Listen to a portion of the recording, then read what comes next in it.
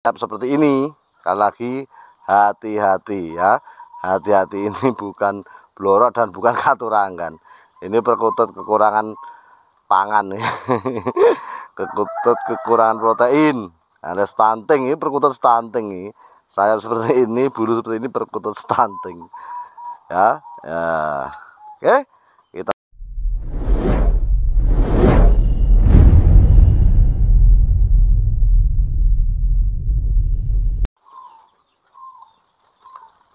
Bismillahirrahmanirrahim. Alhamdulillah teman. Ini di siang hari. Kalau nggak salah jam 1 atau setengah dua ini. Panas-panas ya Oh. Nah kali ini kita mau mengkondisikan kandang kita dan cek anak-anak ya. Anda bisa lihat di depan saya ini. Minuman-minuman ini tadi baru saya sak grojok ya. Banyune ombe tak grojoki. Karena apa indikasi panas. Ya sekali lagi indikasi panas. Kalau air minum panas kalau kita tidak dinginkan resikonya nanti anak-anak tidak diloloh ataupun akan timbul peradangan pada anak-anak perkutut kita maupun induan perkutut kita. Oke? Bisa dipahami ya teman-teman? Pentingnya grojok yang umben ya. Gerujuk saja. Kalau di atas ya tambahin saja. Kalau di atas kan belum belum kelihatan panas ini yang bawah. Biasanya yang paling full panas itu yang bawah. Ya mulai dari jam 12 setengah satuan sampai nanti kurang lebih jam 3 itu kena panas. Kalau kita tidak grojok tidak dinginkan bahaya. Untuk teman-teman yang mau mengondisikan silahkan. Ya jadi kalau teman-teman anak-anak berikutnya sakit uh, posisi nggak mau makan nggak diloloh mungkin ini salah satu penyebabnya. Oke yang di sana itu baru saja tadi tak gerojokin dong ngombe kain dong njeglok sitok ya memang nggak netes. Ya, tadi kadang perkutut itu gini teman. Mana ada yang tanya? Mas kalau telur perkutut itu nggak netes satu itu harus dibuang atau enggak dibuang boleh nggak boleh. Ya kalau untuk pemula lebih baik buangnya sekitar anakan umur semingguan. Kenapa? Karena untuk jagani indukan perkutut kita tidak mau ngangkremin anak-anaknya lagi. Karena eh, perkutut awal itu biasanya sensitif apalagi anda baru beternak. Nah itu mindahnya eh nah, buangnya telur yang nggak jadi itu lebih baik anak-anak umur seminggu minimal ya. Oke kita cek anaknya teman. Oke teman, ini yang pertama anak-anak perkutut yang saya titipkan kemarin teman ya. Jadi kalau teman-teman nyimak perkembangan channel saya, ini kemarin anaknya dua, ya satunya posturnya kecil, kuntet. Saya pindah kandang di sebelah sana. Ya, nanti kita lihat juga nah, perkembangannya yang saya titipkan bagaimana, yang kita ganti di sini bagaimana. Ya ini kan kemarin atas dua sebenarnya yang satu sudah agak besar satu kecentet alias kunting makanya satu saya kondisikan titipkan di indukan yang lain yang umurnya lebih muda ya. Anak dari sini sudah ada bulunya. Yang saya titipin itu baru kemedom bulu jarum. Nanti kita lihat perkembangannya bagaimana ya. Jadi teori yang saya kasih ke jenengan itu teori praktek saya. Bukan sekedar teori semata. Sudah saya praktekkan makanya saya berani nge-share. Naruh di praktek ini nge-share bahaya teman. Ya ini nah yang nanti tipannya yuk kita sehat menteles ya. Babon ini alhamdulillah gelem nah ini untuk mempercepat peternakan kita ya seperti ini teman. Jadi si anak siji siji nih dadi siji. Indukane sing diji kok anakane bentang endok neh itu trik yang saya lakukan sehingga cepat berkembang. Kalau indukan ngelolos satu diumbar yo ngelolos sitok-sitok kabeh ngenteni anak mandiri kesuwen ya. Ternak anda akan lambat perkembangannya ya. Ayo didelok sing cik kunting nek ben sing tak titipne kaya apa saiki posisine. Oke teman ini posisi anakan yang saya titipkan kemarin ya. Ini eh, teman setarangan karo kengke sing awal tadi ya. Sak tarangan karo kengke padahal sing kae tunggal sak tarangan wis gede ya melaku-melaku mau iki si sakmene si cilik. Nah itu larnya lare ya. Ini ada bulu yang tidak stabil alias bulu kecentet nah satunya kita lihat. Yang kemarin bulu jarum seperti apa sekarang? Ya padahal kemarin bulu jarum ya kita lihat. Ya kita lihat. Bismillahirrahmanirrahim. Masih di oh wes nang nangkring lur. Gila cekle perkembangannya bagaimana? Apakah hampir simbang nah ini loh teman. Oh mabur. Ayo mabur. Saya saya cekle lur aduh. Gak tak skip ben. Kanca-kanca ngerti nak. Ini memang real. Nggak ada. Nah ini loh. Ya perbedaannya sangat tipis antara bulu jarum dan kemarin yang sudah berbulu. Ya? Nah perbedaannya sangat tipis. Karena apa perkembangan yang bulu jarum yang sebelah kiri itu normal.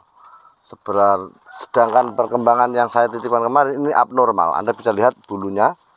Nah bulu sayapnya seperti ini. Oke. Nah ya. Nah, ini abnormal. Kutut abnormal seperti ini. Ini nanti kalau bodol bulu biasanya yang putih-putih di tengah itu hilang jadi bulu normal mega mendung lagi ini di ekor sama nah jadi teman-teman kita pelajari dulu biar teman-teman bisa uh, paham tentang bulu putih di anakan perkutut kita ini biasanya terjadi di anakan perkutut yang belum ganti bulu dewasa. Anda perhatian ya. Nah, ini kan putih, teman ya. Bulunya putih. Kita bentangkan. Ekornya sama.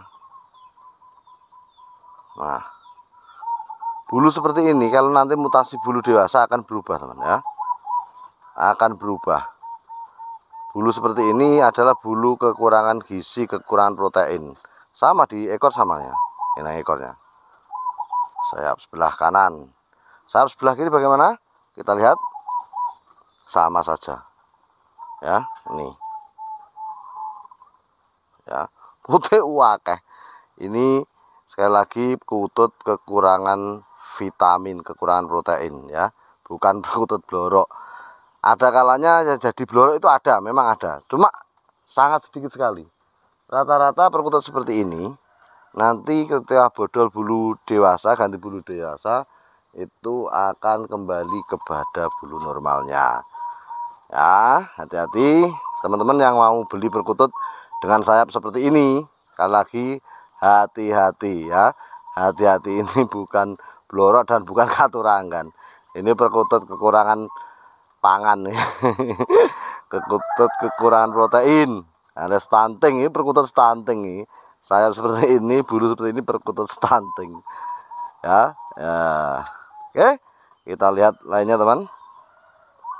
Ya jadi ya paham ya. Ini ini kita lihat satu sarangnya. Ini dengan ini teman. Nah satu sarang dengan yang sana. Paling ujung ya tidak cagak loh. Ini satu sarang dengan itu. Nah kan beda banget kan? Itu dengan ini loh. Nah, ini kalau kemarin saya biarkan di sini, teman, masih diloloh oleh indukan ini, kemungkinan besar akan mati. Ya, kemungkinan besar akan akan mati karena kalah makan. Ya, ya. Oke, dibalik ini yang gini bentang diloloh nih. Oke, kita kembalikan. Iki induk induknya besar kangkrem nih lulur. Padahal anak cilik lah ya.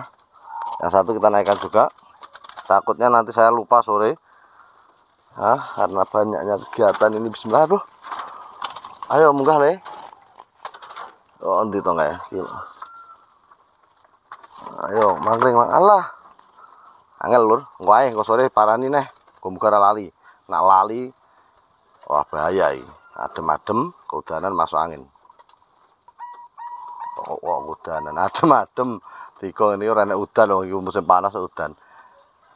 Malam angin angin banter adem takutnya masuk angin. Nah selanjutnya teman ini indukan Mega Mendung Mojopahit di bawah itu dengan putih dari kebak anaknya kemarin juga satu yang sebelah kiri ya sebelah kiri yang sebelah kanan itu anak titipan ya titipan. Nah ini anaknya kayaknya keluar silver ya jadi persilangan itu sangatlah rumit teman. Ini saja yang Mega Mendung Mojopahit kali putih dari yang kebak terah Mojopahit anaknya masih keluar silver ya nah ojo duwe statemen ngilangne putih lurik kali cemani Mojopahit metune cemani muntene putih Mojopahit hai ata hai ata tuh ya aduh banget saking uh, apa prediksi. Oke yang selanjutnya teman ini indukan dan mas kita. Dan mas pahit kali dan mas dari kebak. Punya anak dua ini kemarin sebenarnya sudah mau saya sapeh yaitu bulunya punggung sempat dicabut indukannya kan. Mungkin nanti sore atau besok pagi saya sapeh. Karena apa? Kemarin mau saya sapeh karena sudah nelur. Nah boso tak jinguk telure. Ini malah eh boso tak pas sapeh malah ndok nggak diangkremi. Akhirnya telurnya saya kondisikan anaknya biar di sini.